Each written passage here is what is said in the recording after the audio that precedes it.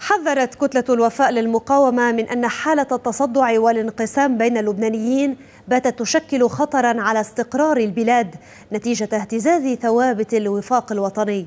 وزاد من حدتها إحجام البعض عن الحوار مع البعض الآخر ومقاطعته للمؤسسة الدستورية الأم الناظمة للقوانين.